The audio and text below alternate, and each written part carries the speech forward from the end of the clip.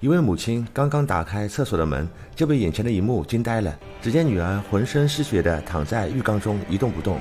等她醒来的时候，奇怪的事却发生了：刚刚割腕的手上居然没有一点伤痕。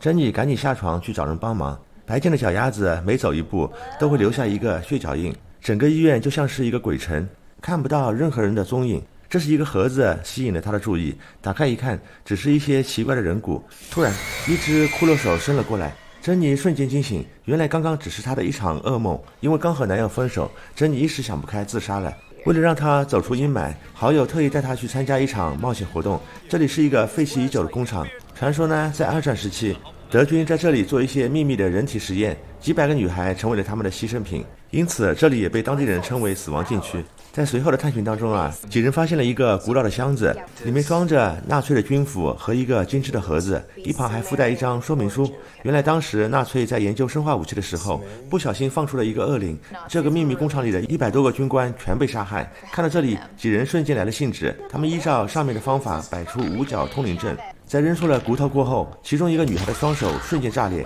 恶灵直接从她的体内爬了出来。一群人吓得疯狂逃窜，他们十分后悔召唤出了这个怪物。可现在已经为时过晚，杀人魔已经展开他的猎杀模式。这时，还有个小伙主动向杀人魔发起挑战，显然他还不知道这个恶魔的厉害。杀人魔反手就将小伙砍倒在地，随后把他的手按在了桌上，直接用小刀玩起了戳手指的游戏。眨眼间，小伙的双手就被锋利的小刀插得稀碎。惊恐的他赶紧向出口爬去，可杀人魔并没有放过小伙。只见他转身就拿上了电锯，对着小伙的双腿就砍了过去。恐怖的杀戮也就此开始。珍妮这边。他还在工厂里寻找同伴的踪迹。正在他看到同伴的尸体时，一旁的威廉赶紧捂住了他的嘴巴。原来杀人魔就在他们身边。还好刚刚珍妮没有呼喊。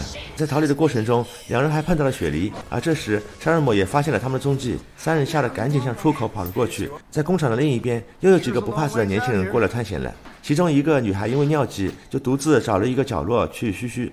这时，她还在地上捡到了一瓶啤酒。女孩想都没想就畅饮了起来。等他放下瓶子，才发现里面居然全都是血。随后，一个陌生的身影出现在他身后，女孩转身就准备逃离，可没有想到啊，却踩到了地上的血迹，她整个人直接被钢管插穿了身体。紧接着，杀人魔也发现了其他人的存在，他赶紧拿上镰刀，瞬间砍掉了小伙的下半身。这边啊。他们还在努力寻找出口，在逃离的过程中，几人还遇到了一个流浪汉。通过交谈得知，他曾经也放出过杀人魔的恶灵。当时的他还很小，身边的父母全被杀害。最后，流浪汉知道了封印杀人魔的方法，只需要再次开启五星通灵阵，然后把骨头随机放在五个角落，这样就可以收服恶灵。所以他们现在需要重新返回楼上拿到骨头。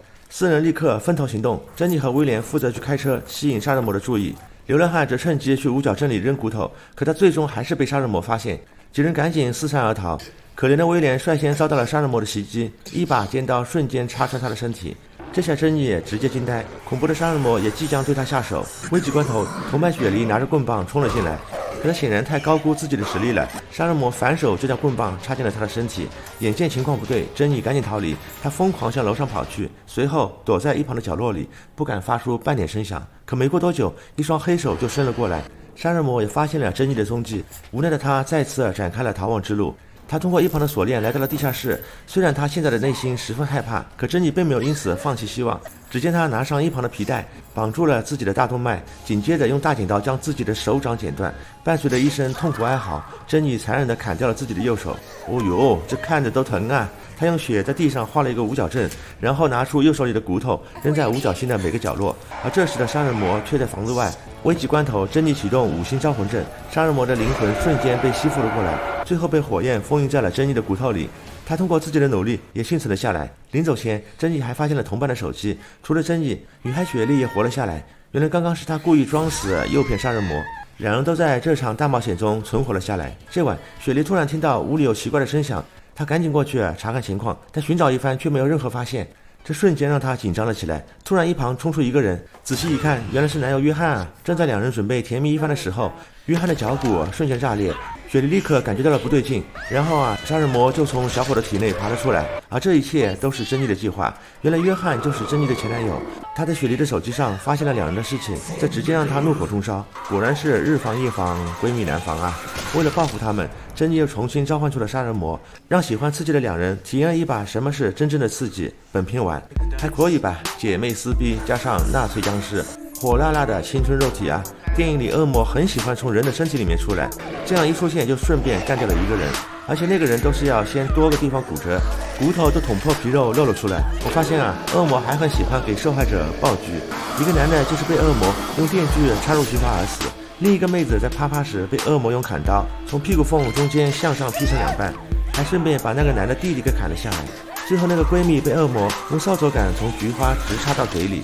扫帚杆从嘴里透出而死，这让我想起了一首歌。你看那三叶中开满的菊花。好了，我去遛狗了，拜了个拜。